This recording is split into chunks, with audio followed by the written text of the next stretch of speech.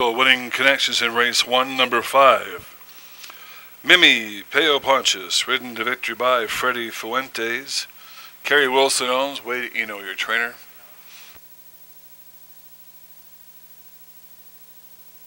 Change in the order. Here are your prices. Number five, Mimi Peo Pontius, 590 win, 260 plays 240 show. And second, number four, Steel Victory, 270 plays 440 show. And number two, Pepper Kelly, 290 show, $2 Quinella, 420, $2 try, 126.30. Not bad for a four horse field.